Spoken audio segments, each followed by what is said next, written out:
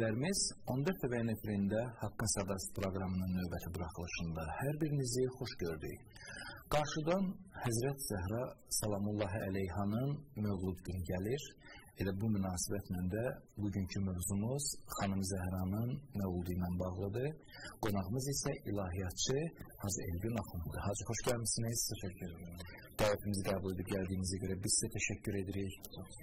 Hacı xanım Zəhra Salamullahi Əleyhanın nəinki mövludu, elə şəxsiyyəti də İslam aləmində öz parlaqlığı ilə, öz əhəmiyyəti ilə hər zaman nur saçmışdır ki, elə indi də bu cürdür və gələcəkdə də bu nur hər zaman bərq vuracaqdır.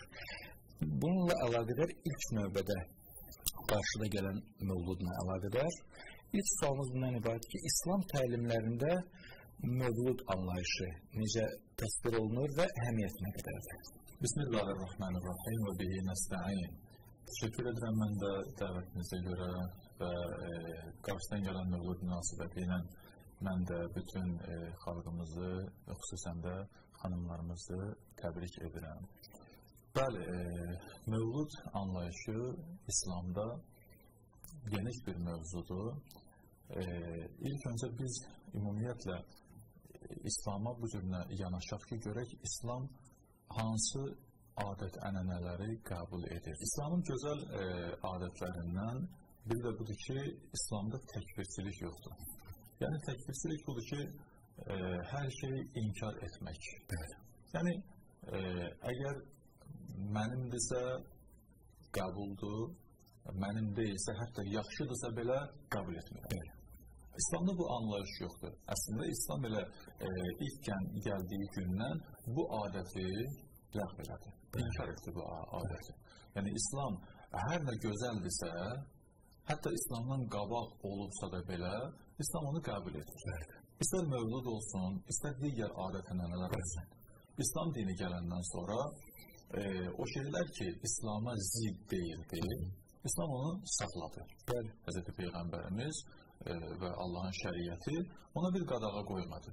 Təbii ki, orada əgər hansısa bir adət-ənənədə İslama, şəriətə zidd olan şeylər varsa, onları e, çıxmaq şərti ilə adətin özü əgər gözəldirsə, faydalıdırsa, xüsusən də İslam ictimai dindir, cəmiyyətə faydalıdırsa, İslam onu qəbul edir və saxlayır. Və təbii ki, mövlud e, e, münasibətləri də e, bu qəbildən olan bir e, adət-ənənədir ki, cəmiyyətə fayda verirsə, insanların xeyrinədirsə, İslam bunu bəyənir və ona gözəl yanaşır. E, bir digər bir tərəfdən baxanda da ki, e, mövlud xüsusən də e, e, dəyərli şəxsiyyətlərin mövludu və daha dəqiq yanaşsaq mövzuya e, İslam əziz İslam peyğəmbərimizin və onun əhli beytinin doğum günləri, mövlud günləri elə İslami bir adət-ənənədir və bu təbii ki, qeyd olunmalıdır. Çünki mövlud münasibətlərində e, bir-birini, insanların bir-birinə rastlaşması, görüşməsi, yardımlaşması və bir-biri ilə münasibətin e, artması var. İslam da bunu bəyənir. Təşəkkür edirik Hacı. Ümumən bu e, mövludların keçirilməsinin ən faydalı tərəfləridir. Bəs ən əhəmiyyətli tərəfləri nədən ibarətdir ki, mövlud və mövludların keçirilməsi, qeyd olunması İslam təlimlərinin, İslamın bir növ yaşaması üçün nə qədər əhəmiyyət daşıyır? Bəli, e, nəzərə alsaq ki, e, xüsusən İslam dinində müqəddəs e, şəxsiyyətlərin mövludları və yaxud e, əlavə edə bilsək, əgər şəhadətləri qeyd olunur, bu müqəddəs şəxsiyyətlərin özünün e, bir müqəddəsliyi var. Onların həyat tərzində hansı bir nümunələr var. Və bu mövludun da qeyd olunması insanlara həmən o e, şəxsin müqəddəsliyini, həyat tərzini insanlara e, çatdırmaq və bu mövzuda belə deyək, insanlara bir fayda verməkdir. Məsələn, biz Quran-ı kərimə diqqət eləsək, Allah Taala e, bir neçə şəxsiyyətin doğum günündən danışır və salam göndərir. Bəli. Məsələn, diqqət eləsək, e, Yahya peyğəmbərin mövzusunda və İsa peyğəmbərin mövzusunda Allah təala ki: "Və salamun alayhi yawma wulida və yawma yamutu və yevmə yub'asu hayya. Allah buyurur ki, Yahya peyğəmbər barədə salam olsun ona doğulduğu günə, e, ölüm gününə və bir gün geri qaytarılacaq günə Yəni e, insanın ölümündən sonra yenidən dirilməsinə işarə edir. Əsasən biz bu e, doğum gününə salam mövzusuna toxunmaq istəyirik və İsa peyğəmbərin məsələsində də var. İsa peyğəmbərin məsələsində təbii ki, Allah Taala bunu İsa peyğəmbərin öz dilində deyir. Buyurur ki: "Və salamun aleyyə" özü özünə salam deyir. "Və salamun aleyyə yevmə vulidtu və yevmə amutu və yevmə ubatu hayya." Burada da doğum günə salamdan söhbət gedir. Diqqət eləsək ki, niyə Allah salam göndərir? Maraqlıdır. Salamın özündə bir yad etmə var, evet. bir qeyd etmə var. Doğum gününü, mövludu qeyd etmə var. İndi ayələrin əvvəlinə biz baxsaq, İsa xüsusən İsa peyğəmbər barədə olan ayələrin əvvəlinə biz baxsaq, görərik ki, hansı səbəblərə görə Allah bunu qeyd edir. Yəni o o şəxsiyyətin doğum gününə salam göndərir. Əvvəlki ayələrdə buyurur ki, "Vəcəaləni mübarəkən aynəma kuntu." Allah məni bərəkətli qərar verir. Və harda oluramsa olum. Bəzən insan düşünür ki, müəyyən e, yerlərdə mən faydalı və bərəkətli ola bilərəm. Və hətta bəzən məsələn insan deyir ki, namaz halım ən gözəl haldır, oruç tutduğum hal ən gözəl haldır. Bəli, təbii ki, o halların üstünlüyü var. Bəli. Amma bu ayə biz diqqət etsək görsək ki, yox, insan təkcə namaz halında yox, oruç halında yox, insan təkcə hansısa bir iş başında yox. Harda olur olmasından asılı olmayaraq insan nə olmalıdır? Faydalı olmalıdır. Ömrünü faydalı yerlərdə sərf etməlidir.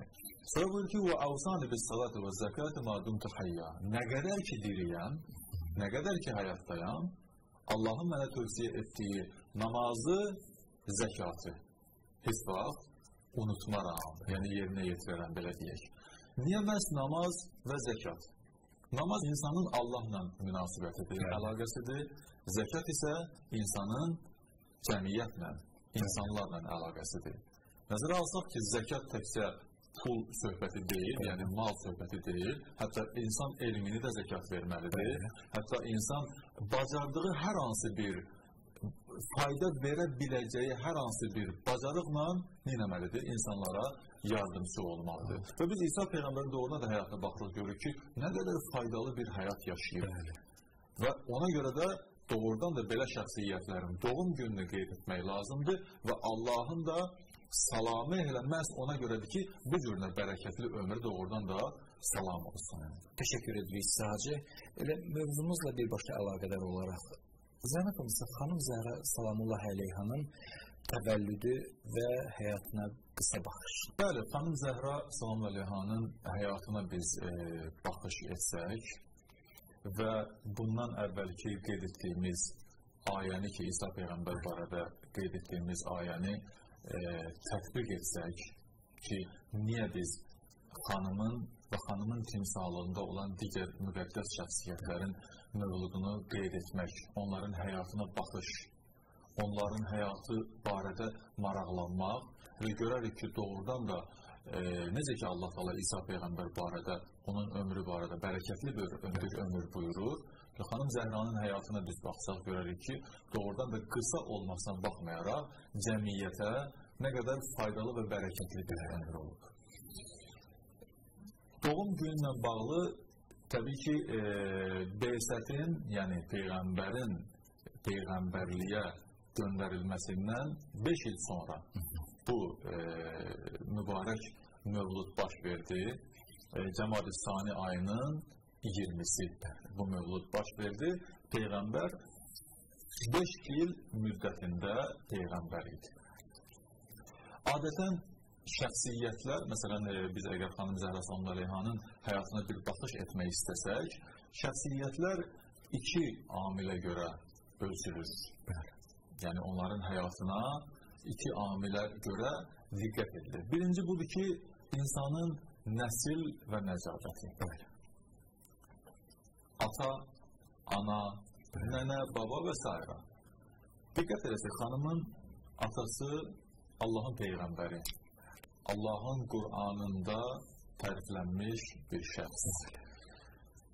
İslamı gətirən, İslamı insanlara yayan, cəmiyyəti, bəşəriyyəti ümumiyyətlə e, cahiliyyət bataqlığından çıxaran bir şəxsiyyət.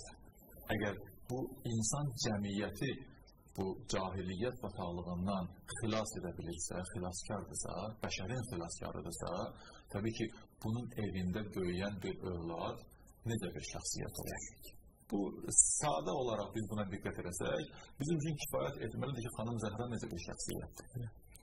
İkinci növbədə ana tərəfindən biz baxsaq, xanım Xədicə, Allahın salamı olsun ona, fədakar bir qadın. Bəli. Və onun fədakarlığı e, iki xüsusiyyətinə görə xüsusən seçilir. Birinci, Peyğəmbəri seçdiyinə görə nəzərə alsaq, dövrü, yəni o dövrü ki, xanım Xədicə Həzrəti Peyğəmbərimizlə evləndi, o dövrdə xanım Xədicə varlı və tanınmış bir şəxs idi. Peyğəmbərimiz isə dünya cəhətindən biz məsələyə yanaşırıq. Təbii ki, ilahi cəhətdən yanaşanda Peyğəmbərin misli bərabəri yox. Bəli. Dünya cəhətindən təbii ki, bəşəriyyətin, insanların, e, həmən o dövrdə olan cəmiyyətin e, baxışı bu cür idi ki, atası yox Peyğəmbərin, anası yox. Yəni yetim bir insandır. Pulu var, dövləti də yox, vəzifəsi də yox. Xanım Xədicənin Peyğəmbəri seçməsi cəmiyyətdə biraz qınağa səbəb oldu və bunun üçün də xanım Xədicə qınandı. Amma baxmayaraq ki, qınandı, xanım Xədicə peyğəmbəri seçdi. Bu bunun ilk birinci fədakarlığı idi. İkinci fədakarlığı hardadır? İkinci fədakarlığı evlənəndən sonra Həzrəti Peyğəmbərimizlə İslam uğrunda bütün var dövlətini fəda elədi.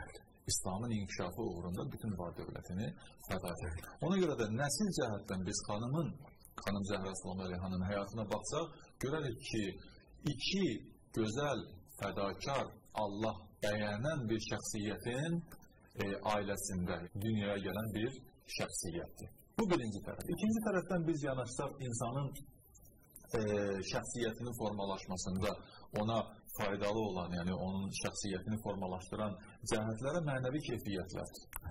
Yəni nəsili qeyd etdik.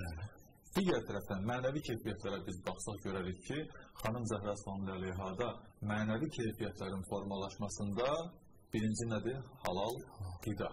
Bəli. Halal qida insanın e, mənəviyyatına çox böyük təsir qoyur. Bəli. Ona görə halal, halal qida birinci, ikinci mühit. Mühit peyğəmbər ailəsi, peyğəmbər evi, xanım orada böyüyüb.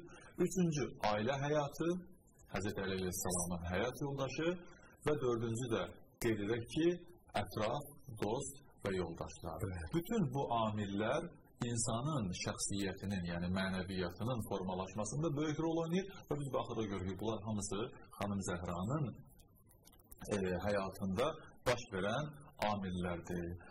Biz də xanımı ziyarət edərkən, yəni onun ziyarət namələrində biz görürük ki, belə bir ziyarətnamələr qeyd olunur. Əssalamu aleyki ya bintə xeyri xalqillah. Salam olsun sənə, ey məxluqatın ən xeyirlisinin qızı. Bu atasına işarədir. İkinci, Əssalamu aleyki ya bintə əfvala ənbiyaillah. Peyğəmbərlərin ən fəzilətlisinin qızına salam olsun. Üçüncü salamdakı Əssalamu aleyki ya zavcətə vəliyyillah. Salam olsun sənə, ey Allah vəlisinin həyat yoldaşı. Bu ziyarətdə, bu isbən ziyarətdə biz demək olar ki, xanım Zəhra Samlariyhanın həyatına bir baxış eləyə bilərik ki, bu necə bir e, həyat tərzi sürür. Təşəkkür edirik sizə. Bu məqamda ə, e, Həzrət Zəhra Salamullah əleyhanın şəxsiyyətinə baxışı biraz da genişləndirmək istərdik. Ə, ümumiyyətlə götürsək, xanımın şəxsiyyətinə İslam məktəblərinin baxışı nə cürdür? Aydındır, bəli. E, nəzərə alsaq ki, İslam e, dinində e, bir neçə məzhəblərə bölünmə var və e, bu baxımdan amma bölünmə olsa da Quran nəzərində hamı eyni fikirdədir. Əlbəttə, yəni Allahın kitabında bir ixtilaf yoxdur. Xeyr. Bəli, müəyyən ayələrin təfsirində və yaxud e, ayə, ayələrin nazil olma səbəbində müəyyən ixtilaflar varsa da, təbii ki, bizim e, belə deyək, möhkəm ayələrimiz var. Bəli. Və Həzrəti Zəhra sallallahu barədə baxırıq görürük ki, o ayələr ki var, nazil olub, onu təkcə e, bir məzhəb yox, demək olar ki, bütün məzhəb alimləri təsdiqləyir. Və Həzrəti Zəhra sallallahu e, şəxsiyyətinə elə bütün məzhəblər bu ayələrin fonunda eyni baxırlar. Birinci ayə e, qeyd edə bilərik Əhzab surəsinin 33-cü ayəsi, məşhur təkbir ayəsidir ki, Allah Taala orada e, Əhl-i Beyt barədə danışarkən xanım Zəhra sallallahu da Əhl-i Beytdən biridir. Onları pak və bütün çirkin pisliklərdən təmiz qərar verir. İnnəmə yuridullahu liyukhibə ankum rizsə əhləl beyt. Əhl-i beyti Allah Taala bu ayədə pak və e, təmiz e, bizə göstərir bütün pislik və çirkinliklərdən uzaq. İkinci ayə Alimran surəsinin 61-ci ayəsində biz qeyd edə bilərik ki, bu ayəyə də məşhur mübahilə ayəsi deyirlər. Məşhur o mübahilə hadisəsində ki, Həzrəti Peyğəmbərimiz kimləri özü ilə götürüb getməli idi. Orada qeyd edəndə ki, fəqul ta'alu nəd'u əbna'ana və əbna'akum öz övladlarımla gəlirəm, yəni oğul, oğullarımla gəlirəm. E, ondan sonra və nisa'ana və nisa'akum öz qızlarımla gəlirəm, yəni qadınlarımla gəlirəm və tarixi e, mənbələrə əsasən, rəvayətlərə, hədislərə əsasən və digər məzhəb alimlərinin fikirlərinə də biz baxsaq görərik ki, Hz. Peyğəmbər məşhur o hadisəyə gedərkən İmam Həsən, İmam Hüseyin əleyhissalam özü ilə götürüb və qadınlar tərəfindən də xanım Zəhradan başqa heç kim orada olmayıb. Və bu ayəyə əsasən də biz xanımın şəxsiyyətini təyin edə bilərik. Təbii ki, məzhəblər baxımından və e, üçüncü ayəni də qeyd edə bilərik ki, İnsan surəsində məşhur o hadisə ki, baş verdi. E, Allah Taala onun üçün ayələr nazil elədi. Üç gün e, xanım Zəhra övladları oruç tutmuşdular və iftar açarkən e, qapılarına e, fəqir gəldi və üç gün ardıcıl olaraq özlərinin ehtiyacı olduğu təqdirdə o iftara, o yeməyə özlərinin o ehtiyacı olduğu təqdirdə həmən o iftarı, o yeməyi fəqirə, kasıba və yetimə e, təqdim etdilər. Və yut'imunə ta'amə alə hubbihi miskinən və yetimən və əsirə. İnnəmə nut'imukum livəchillah la nuridu minkum cəzaən və la şükura. Hətta bu yeməyi verəndə, bu e, sədəqəni verəndə dedilər ki, biz bunu yalnız Allah üçün edirik. Sizdən heç bir təşəkkür və çox sağ ol gözləmirik. Buna deyirlər İslamda İsar. Yəni bir var e, insan sədəqə verə, e, özündə olanın bir qismini verə, amma bir də var ki, insan özündə olanın hansı ki özünün də ona ehtiyacı var, onun hamısını verə. Bu ayələrdə də xanım Zəhra Sonməliha bu fədakarlığı, bu isarı etmişdir və bütün məzhəblər bu məsələləri qəbul edirlər. Bu ayələr baxımından bu cürnədir. Amma e, biz hədislər, hədislərə də diqqət eləsək, Hz. Peyğəmbərimizin xanım Zəhra barədə çox mötəbər hədisləri var, hansı ki o hədisləri bütün məzhəb alimləri e, qeyd edirlər. Xüsusən də Buxari e, Buxaridə qeyd olunan məşhur Səhih Buxari deyilən kitabda qeyd olunan Hz. Peyğəmbərimizin hədisini mən qeyd edəcəm. Onunla da e, yəni kifayətlənəcəyik. Hz. Peyğəmbərimiz buyurur ki, Fatimatu bed'atun minni.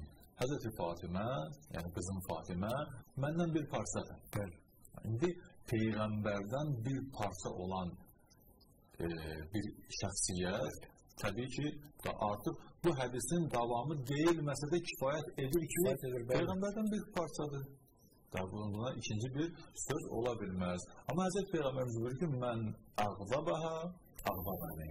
Hər kəs ki, onu qəzəbləndirərsə, məni qəzəbləndirər. Bu hədis müxtəlif formalarda, indi bir formasının hədisi biz qeyd edirik, amma müxtəlif formalarda və müxtəlif e, kitablarda, istər e, digər əhl-i sünnə kitablarında olsun, istər şiə məzhəbinin kitablarında olsun, qeyd olunub və e, təsdiqlənib ki, Hz. Zəhra sonları incidən Peyğəmbəri incitmişdir və təbii ki, Peyğəmbəri incidən də Allahı incitmiş olar. Nəzərə alsaq ki, Hz. Peyğəmbərimiz Allahın yer üzündə nişanəsidir və xanım Zəhra sonları ondan bir parçadır. deməli Həzrəti Zəhranın özü də Allahın yer, üzər yer üzərində nişanəsi sayılır. Ona görə bu çox mühüm nöqtədir ki, məzhəblər baxımından da bu cümlədir və Quran ayələrində biz demək olar ki, qeyd etdik. Təşəkkür edirik sizə Hacı. Dəyərli izləyicilərimiz, qısa fasilədən sonra yenidən sizinlə birgə olacağıq. Bizi izləməyə davam edin. Música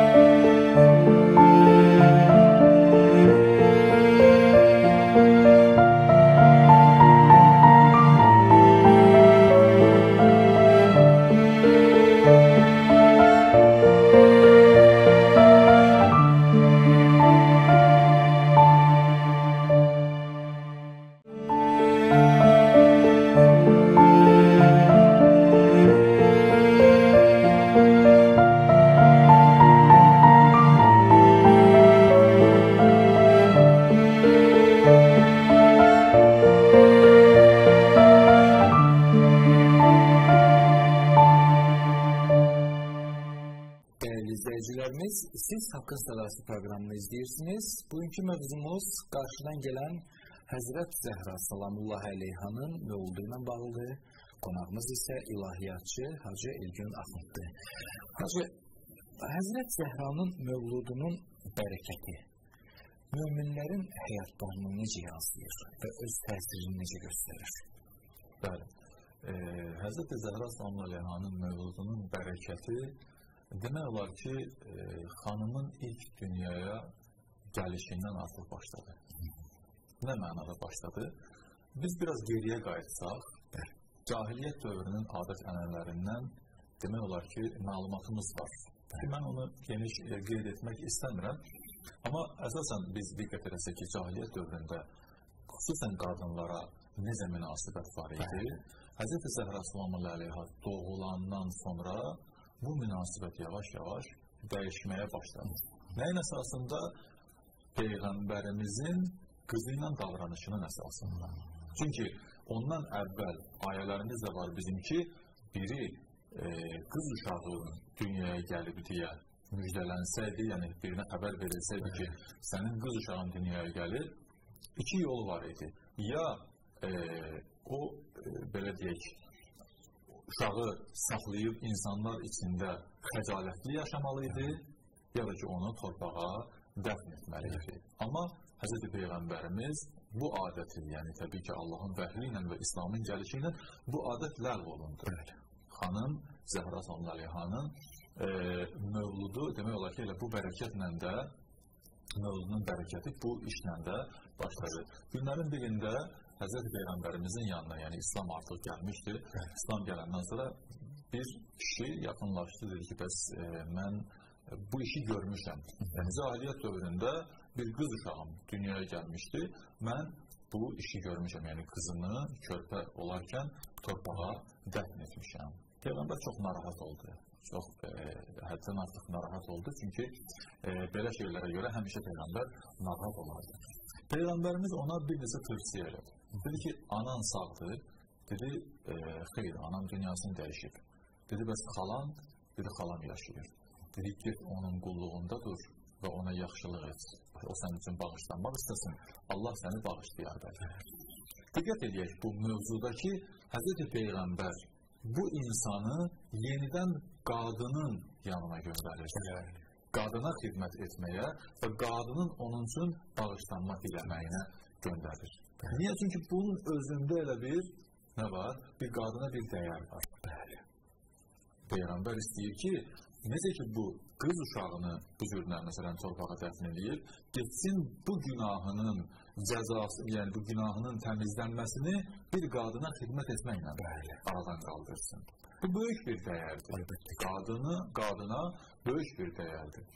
İkinci bir tərəfdən biz diqqət etsək Quran ayəsinə, xüsusən də Kövsər surəsinə Allah Taala Kövsər surəsini nazil etməklə qadına bir dəyər verdi.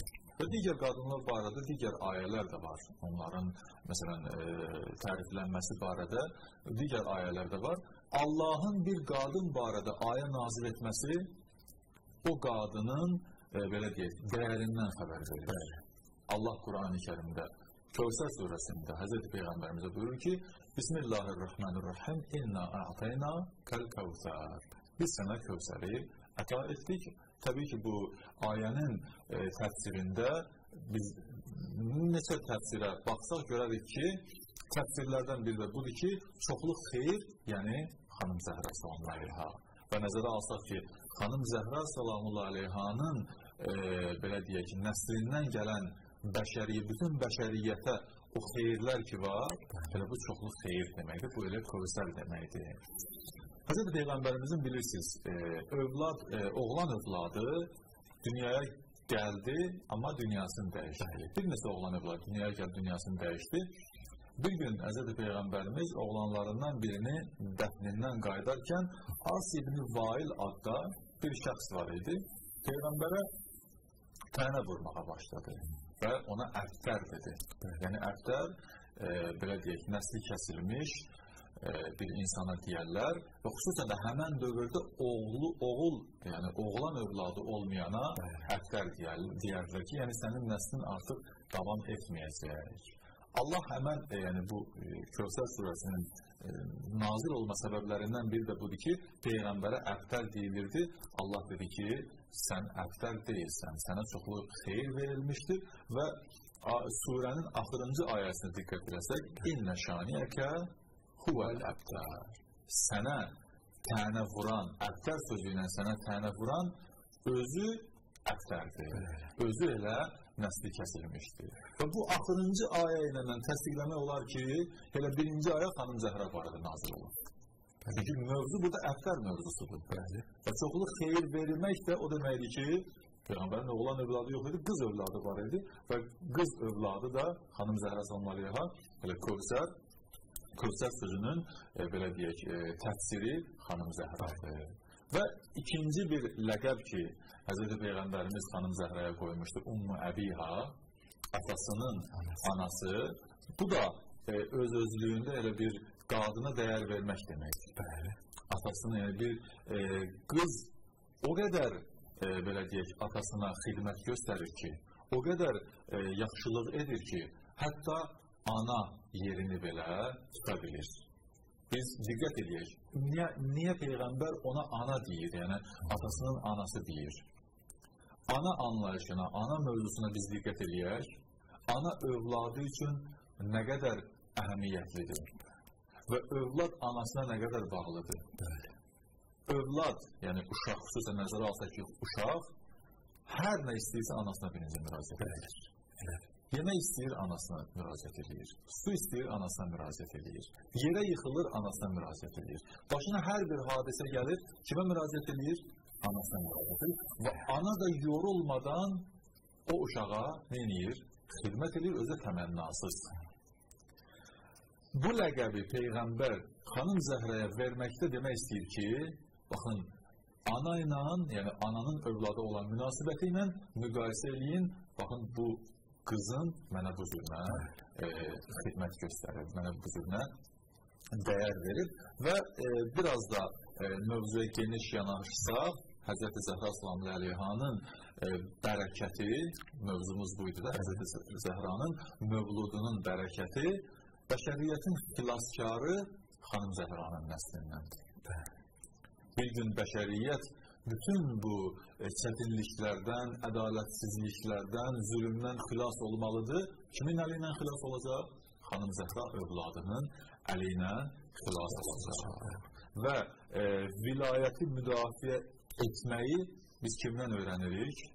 Xanım Zəhradan öyrənirik. İlk vilayəti müdafiə edən, peyğəmbərliyi müdafiə edən, ondan sonra peyğəmbər canişini müdafiə edən kim olub? xanım Zəhra sallallahu olur. Ondan əlavə qeyd edə bilərik ki, hicabın, örtünmənin qadının ictimai həyatına heç bir ziyan vurmur. Bunu biz xanımdan öyrənirik. Çünki xanım hicabını da qorudu, çarşabını da qorudu.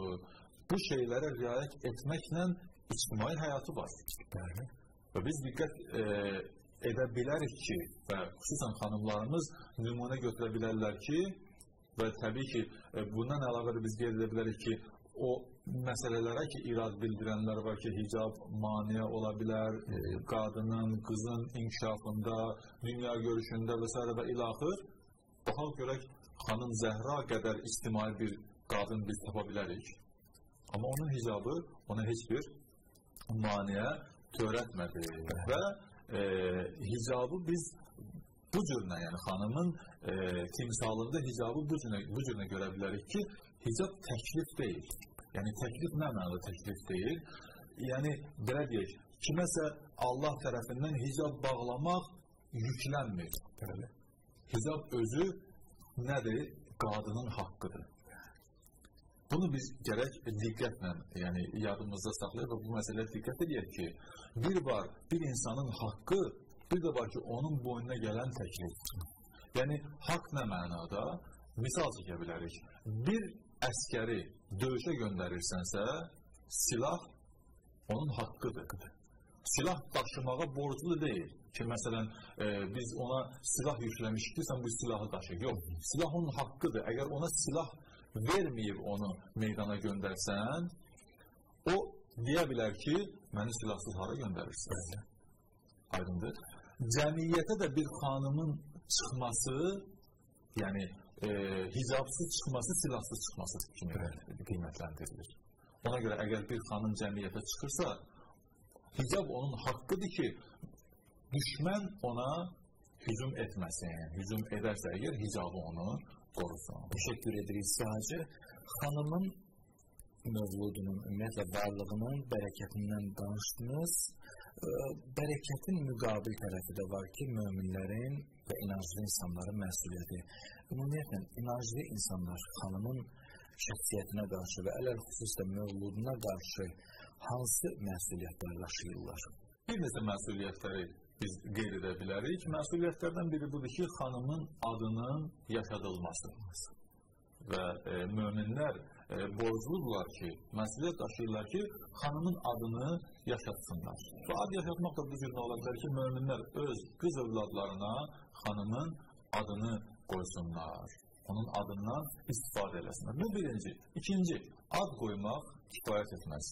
Ad qoymaqla biz kifayətlənə bilmərik.